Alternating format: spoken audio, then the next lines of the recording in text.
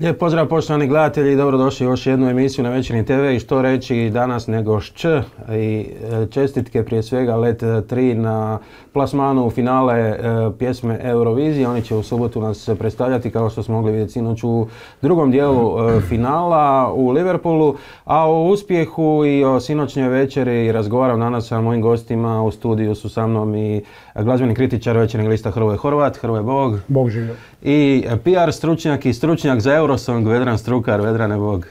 Pozdrav kolege, vama i naravno svim našim gledateljima. E, momci, evo što kažete na sinoćni nastup Le 3, ko će prvi Hrvoje, šta ti kažeš, je li to bilo očekivano ili očekivan ulazak u finale? Bilo je, bilo je očekivano dobro, čak nije niti bilo bitno da li će ući u finale ili neće. Super da su naravno ušli, bilo je lijepo da su ih proglasili prve, pa smo odmah znali o čemu se radi, ali... I to je prvi put ikada smo prvi. Da smo Da. prvi, da. Da, da. I mislim da je zapravo sad i ono najvećim skepticima jasno da je najbolje što nam se moglo dogoditi zapravo to da smo na Dori izabrali Let 3.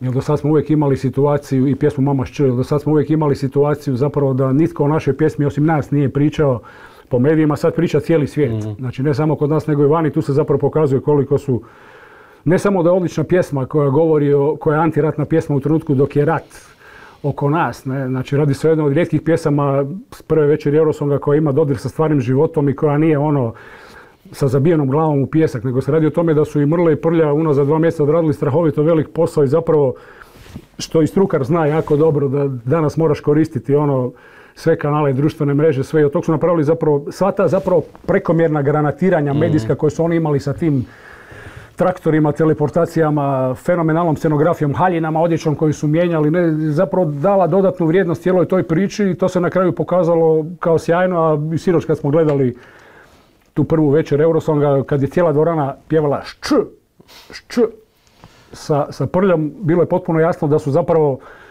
osvojili publiku. A, radi se o bendu koji već radi 30 godina, to zapravo treba reći. Ne bend koji nikad nije napravio loš potez u životu, koji nema lošu ploču. Mamaš je jedna od njihovih najboljih pjesama.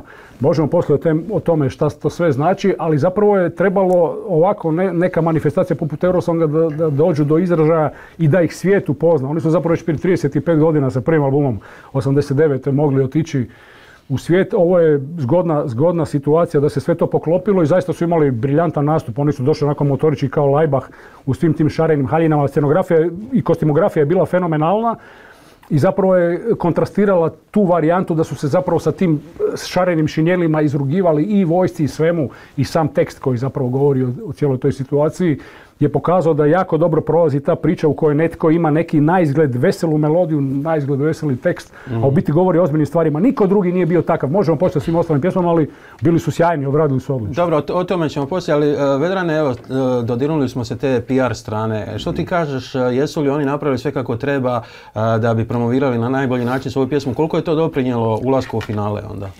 Oni su napravili puno. Jesu li napravili najbolje što je bilo moguće, mi to sad ne znamo.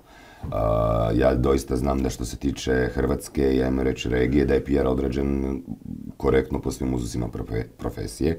Ne znam koliko su bili prisutni u ostalim zemljama Europe. Ono što jest činjenica da danas se pjesme više ne slušaju. Danas se pjesme i gledaju i čitaju i osjećaju. Pjesma je postala samo jedan nusprodukt glazbenika, ne nužno ovoga primarni alat ili primarno oružje. E, ono što je važno zakazati da e, je njihova PR priča kao takva dobro osmišljena, pametno osmišljena, da se oni cijelo vrijeme e, vrlo pronicljivo i proračunski zafrkavaju kako sa publikom, tako i s medijima i zapravo sa cijelom tom jednom eurovizijskom kamarilom.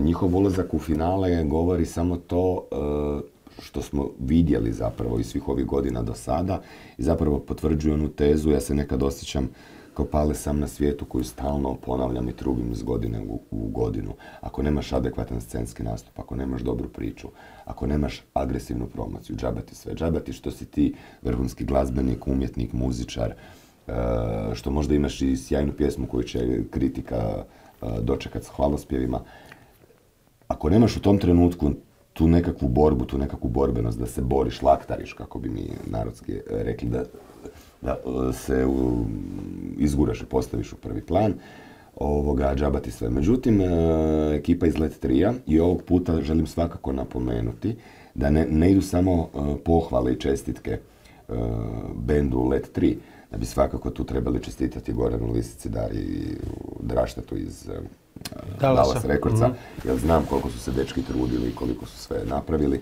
Trebamo njihovom dizajneru mm čestitati apsolutno na tim sjajnim kostimima. Njihovom timu e, koji vodi društvene mreže. Vrlo Luka Keračin. Tako je, trebamo i mhm. gospodinu Luki čestitati na tome, jer doista se vidi trud. Dobro, ajmo malo vidjeti e, ove ostale e, sinoć izvođače, ko vas je tu dopao, ko nije, što mislite, kakve su uopće šanse za final Leta 3, možemo li ući među prvi deset? Pa mislim, po svemu sudeći, ne, ovo mislim što je struka rekao, to je naravno, nije bitna samo pjesma nego sve ostalo. Let 3 već 30 godina zapravo radi na takav način da imaju i dodatnu dimenziju u cijelom svom radu. Ne? Tako da ovo zapravo nije bilo neočekivano, a to je u svijetu normalno već odavno. Zbog toga to je toliko dobro funkcioniralo jer oni znaju kako se to radi. Što se tiče konkurencije, mislim Eurosong je sam po sebi jedna prilično ono banalna i, i često ono diskutabilna manifestacija na, kojoj na, na kojoj se pojavljuje svašta. Ne, ne. Mhm. Glazbeno govorim. Ne, ne, pa to je najproduktivnija i Ne, ne, ne, ok, ali mislim, ako gledamo, ako gledamo sinoć 15-16 pjesama koje su bile izvedene, onda zapravo možemo krenuti ono od dna kace. Znači, bilo je nekih potpuno besmislenih ono spajanja etna i elektronike poput norveške pjesme Moldavije i Češke. Ne? Tog smo se svi nagledali, to su znači oni klasični spojevi. Onda smo imali neke stvari koje su zapravo bile onako u, kao neko, zamotane u neki retro materijal, poput recimo nastupa Iraca koji su bili kao neki ono wanna be you tu sa nekom pjesmicom koja je, ajmo reći na tragu, Juta, na tragu Leta 3 govorila da ovaj, svi smo mi isti, neki, neki ono afirmativni tekst, ali je to zvalo banalno spram snage energije koju su imali U2. Onda smo imali švicarce koji su poput švicarskog nožića došli sa pjesmom koja eksplicitno spominje ja ne želim biti vojnik. Ali to sve skupa nije odradilo niti blizu takvu priču kakvu su odradili Let 3. A, bilo je naravno i boljih pjesama. Meni osobno su se sviđale ove neke modernije, e, srpski predstavnik je bio sjajan. Mm, mene zapravo uvijek čudi kako ovaj, oni uspiju znajući u kojem medijskom okruženju u Srbiji e, rade sa tom masom televizija i tom poplavom turbo folka i svega, kako su i lani izabrali Konstraktu i ove godine odličnu pjesmu koja je zaista zaslužila ući u finale i oni su čekali do samog kraja, 9 i 10 su ja mislim bili proglašeni, to mi je jako drago. Šveđanka je bila odlična, recimo, imala je vrlo, vrlo, vrlo jednostavan i efektan scenski nastup, ali izvrstan vokal i bez obzira na njenu scenografiju, one velike duge nokte koje su zvali kao iz neke ono, Netflixove serije, u biti se radilo vrlo jednoj klasičnoj pjesmi koja nije predaleko od onog što je ABBA radila prije 30 godina sa vrlo jakim refrenom. Izrael je recimo isto bio korektan. A Finac? Sa, tom e, sa Fincem imam taj problem osnovni što je prvo tu mi se čini zapravo da se vidi razlika između Golotinje Leta 3 i Finske. Ne? Finska je bila zadnja, ja mislim, jel tako? Ne? Mm. I on ima onaj neki kostim koji je bio potpuno izvan, izvan zapravo uh, svjetonazorskog obzora te pjesme. Ne? I jedino što smo zapravo zanimljivo vidjeli, to je da dečko ima onako jedan lijepi šav od operacije slijepog crijeva, ali ta golotinja spram nudizma Leta 3 je bila potpuno bespredmetna i nije zapravo bespotrebna. Ne? Let 3 su to puno bolje odradili, mada su se svi grozili njihovih gaća, hlača i šta će napraviti, ali recimo tu se vidjela ta razlika, uh, mada su naravno Finci imali taj catchy reflen ča ča ča i to, i to ima nekog smisla, ali to je opet onako u nekoj, nekom nekoj razini kiča. Sve su te pjesme naravno odrađene profesionalno, bila je mhm. fenomenalna scena koja je potpomogla sve izvođače ali ovaj, velim, ako, ako gledate baš ono same pjesme, onda se... Vedran se ne slaže u nekim stvarima s Hrvojem, koliko sam čuo. Pa ne, ja sam samo evo kolegi, pošto imamo konstruktivnu i kolegijalnu raspravu ovdje oko nekakvih općih pojmova s kojima svi mhm. suvereno baratamo, ne, jel? Eurosong je jako važan i bitan. Ovoga, naprosto smatram da je to jedna fantastična platforma za sve izgled. Znate kako, ako ne uspješ na Eurosongu, ma onda je to nebitna manifestacija. Mhm, mhm. E, ako uspješ na Eurosongu, e, onda je super i to mi je prilika za svijet. To je tako, mi smo takav narod.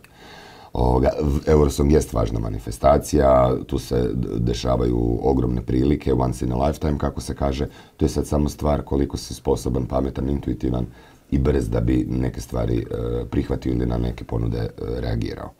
E, što se tiče izvođača koji su bili, ja mislim da je evo da kolega ne misli da mu oponiram, ali mislim da je Srbija ove godine napravila jedan ogroman čorak da, ja sam gledao Beoviziju, ne znam jeste li gledali Beoviziju, Princ od Vranje, izvođač, mislim to je za deset kopalja bolje od ovoga što su oni poslali. Meni isto iskreno bio i Meni je nevjerojatno da izvođač koji ima 12 bodova od publike, maksimalan broj, recimo taj Princ od Vranje, da mu žiri da nula bodova, to mi je nevjerojatno i da se naprosto napravi ta kombinacija žirija i publike i sve da bi, da bi dotični ovoga predstavnik došao. Ja sam rekao i jučer e, u jednom drugom t- e, direktnom prijenosu, predstavnik Srbije meni djeluje kao Grogi Jelena Karleuša. To je moje najiskrenije mišljenje. Grogi Jelena. Grogi, grogi. E sad, tko zna što to Je, malo je znači. previše sanjiv, kao što i pjesma govori. Baš grogi, jer vi kad, pogledate, vi kad pogledate taj čitav nastup, to je Jelena Karleuša radila vizualno, de- dečko je evidentno veliki fan Jelene Karleuše. E, to je Jelena Karleuša radila prije 15 godina u svojim spotovima na svojim tadašnjim nastupima. I kad čujete instrumental pjesme koja predstavlja Srbiju, mene to podsjeća na njezin hit Insomnia.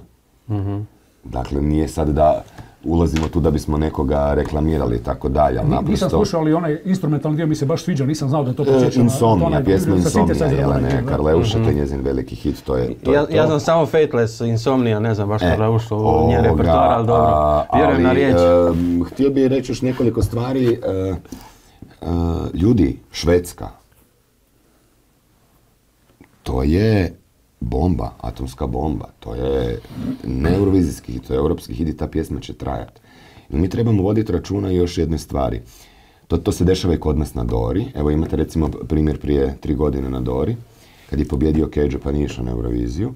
Imate pjesmu od e, vokalnog sastava Kambi Zaljubljen koja je ispala da je najveći hit to je Dore i dan danas zapravo jedina pjesma koja se vrti, znači koja se vrti u hrvatskom radijskom eteru i, i koju publika zna i pjeva. Isto je tako i sa Eurosongom. Dakle, bez obzira što e, se dogodilo, tko pobjedio i tako dalje, e, apsolutno najveći hit koji će se dugo, dugo vrtiti i ostati u svijesti ljudi, u radijskom eteru i u povijesti zabilježen Eurosonga, to je ovoga e, švedska pjesma od sinoć. Misliš od ove godine? Da, Da, od da, ove da, godine. da. Tu nema, tu nema Je, pjesma. Dobro, mislim, ona je favorit i pobjeda je ostalom prije 11 godina na, na 12, Euro mislim. dva- 12, dvije- 2011, 12. koja je. Tako da je i, ove godine jedan od glavnih favorita, ali ima tu i pjesama koje će biti u drugom polufinalu, kažu da je slabije od ovog našeg. A, imamo i ove Big Five, izdvajaju ljudi i španjolsku i francusku predstavnicu, ne znam ste čuli do sada. ove Da, nisam, nisam slušao, sigurno će biti ono vuneno i, i, i žestoko u finalu, ali ponavljam što se tiče leta tri ovog što se nas tiče zapravo nije niti bitno, oni su odradili svoje. I jako je bitno da nastupaju u drugoj polovici finalne večeri, to je užasno važno, znači pred kraj ćemo biti. To nam ipak u nekakvoj matematici e, dobro dolazi da, jer ljudima ipak ostane taj nastup više u svijesti. Ali ja bih opet samo ponovio jednu sitnicu, a to je da unatoč svih dobrih, loših, srednjih pjesama, Let 3 djeluju zaista kao nešto životno, nešto što se odnosi na realnost, na stvarnost. Jer i Švedska koliko god je dobra pjesma zapravo izgleda kao neki ono odličan, fenomenalan video spot i odlična pjesma iz nekog drugog svijeta. Mislim da su Let 3 zaista, i meni je zapravo bilo žao da lani nismo poslali umjesto Mije Dimšić, koja je inače odlična um, uh, ovaj, pjesmu No War, koja bi zapravo na samom početku rata sa Elis Lovrić pokazala, pokazala neku distancu od svega toga i neku priču oko svega toga. Ove godine smo uspjeli i bez obzira što su let 3. Zapravo mi se sviđa što zap- kod nas su ono, ja mislim samo nogometna prvenstva uh, ili Eurosong nešto što može mobilizirati i spojiti ljude. Ne? Tako da je sinoć je bila glavna vijest da su let 3 prošli ili nisu i od ljudi koji ih vole, od poklonika koji ih prate već 30 godina, od onih koji ih ne prate do onih koji ih mrze, ali svima to bilo bitno i mislim da su zapravo u cijeloj toj priči napravili jako dobri da sad i oni koji su bili možda ono protiv toga da se njih šalje ili nisu bili zadovoljni ili ne znam šta, da li zbog ideoloških razloga ili, ili nisu shvatili poruku pjesme, su zapravo mogli stvarno shvatiti koliko je to dobra pjesma. Nastup i uspjeh na Eurosongu e, Leto 3 e, doprinijeti uspjeha u Europi, odnosno koncertima e, mogućim dalje vani. Ništa. Vjerojatno ništa. Ja, ovaj nastup, znači Let 3 je dovoljno brendiran i, po- i oni postoje u regiji. Kao tako oni su fokusirani na regiju tijekom cijelog trajanja ovoga njihovog e, brenda. E, oni da i nisu ušli u finale, oni su naprosto Let 3. Ušli su, evidentno će time dobiti određen medijski hype još e, mjesec, dva, tri što se tiče domaće scene. Međutim, oni su toliko kompaktni, toliko ajmo reći poslovno zaokruženi. I da se naprosto, kako da, kako da to pokušam objasniti, a da budem e, konkretan, podrazumijeva se da, da Let 3 ode na, na, na Eurosong, napravi tamo neku zajebaciju, e, bili oni 15. bili oni prvi, to jest koji god bili, nije to njima bitno, oni svoju publiku imaju, oni svoj brand awareness imaju, oni svoj status imaju. Ovo je sad samo varijanta koliko ćemo ih mi kroz povijest pamtit kao, kao predstavnike koji su nam konačno osvjetlali obraz na Eurosongu, jer kao što je Lega malo prije rekao, rekao je jednu ključnu stvar, i to mi se drago sviđa, ali ovi, ajmo reći, ozbiljni glazbenici, kritičari i tako dalje mi često oponiraju, a sad ćemo se nas dvojica složiti oko jedne stvari, a to je. Eurosong je dobro rekao kolega, kao nogometno prvenstvo. Znači, nama je svima u interesu da šaljemo najbolje što imamo. Da izbornik pošalje najbolje s čime u tom trenu raspolaže da bi ostvario što bolji rezultat. Nama se godinama događa kad pogledamo presjek svih tih Dora, da je nažalost Dora postala, Izbornik je bio loš. mislim, prvi pljesak ljudi. Naprosto to treba javno kazati. To nema govora o tome da ima tko bilo tko od nas protiv bilo koga nešto. E, ajmo još za sam kraj, e, prognoza za subotu, koji će biti let 3 u finalu, jedan i drugi. Pa ja mislim da će biti među prvih pet, svakako. ne. Bilo bi sjajno da pobjede, bili bi svi veći od života, pogotovo oni. Ali ovo što je Vedran rekao, radi se o bendu koji ima već svoju onu pozadinu i zapravo im to nije niti bitno, ali će ostati zapamćeni po bilo kojem rezultatu i po ovom što su već do sad napravili i očito će se u regiji i na domaćem terenu puno više osjetiti uspjeh cijele te priče nego vani, jer Eurosong je ipak jedan balon zatvoreni koji nema veze sa publikom u Londonu, Amsterdamu, Berlinu koji dolazi u klubove. Oni će vjerojatno imati više svirki, ali su zapravo jako dobro poentirali na onom što rade već 35 godina i to je zapravo najbitnije, da su samo ono što rade uvijek sad napravili na još jednoj drugoj, drugačijoj razini. ne. Vedrane, hoćemo li biti među prvih Pa pet? ja nisam vidoviti struki, ovoga, i ne bi si, nikad se ne dopuštam da, da, da, da, da na neki način projiciram konkretno mjesto, mogu reći samo ne nešto valja ili ne, ili da li nešto može pobijediti to. Mislim da nema šanse da mi pobjedimo. Zbog mase razloga, ali da ćemo se dobro plasirati hoćemo. Dobro, nadam se da će tako i biti. Gospodo, hvala vam lijepa na ovim stručnim i vedrim komentarima kao i obično. E, I naravno vidimo se u nekoj drugoj emisiji. Kolega, hvala vama na pozivu i pozdrav svim gledateljima. Hvala i vama poštovani gledatelji, gledali ste još jednu emisiju na Večernji TV, lijep pozdrav.